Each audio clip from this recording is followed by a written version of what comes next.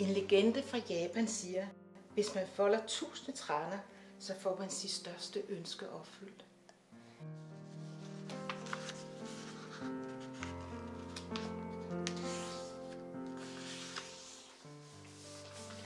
Tror du på legender? Ja da, der findes meget mere mellem himmel og jord, end man tror. Hvis du folder tusinde træner, vil du så ønske dig.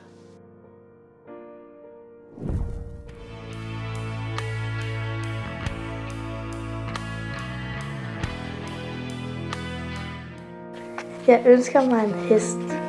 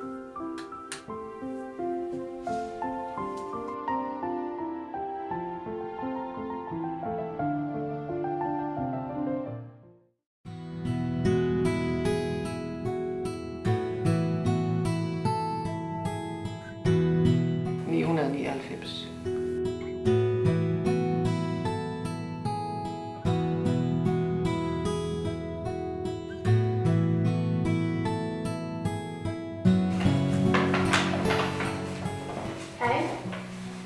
Hej, er du faret vild? Nej, jeg er sluttet af fra min mor på skole. Jeg må ellers aldrig gå alene. Okay, Hvad er det? vil du hen og se? Ja. Kom herhen og sæt dig ned. Nu skal du høre. Da jeg var på din alder, der fortalte min mor og mig om en japansk legende. Og i den legende, der hedder det sig, at hvis man folder 1000 traner, Så får man sit største ønske opfyldt. Hvad ønsker du så? Så skal du have mig.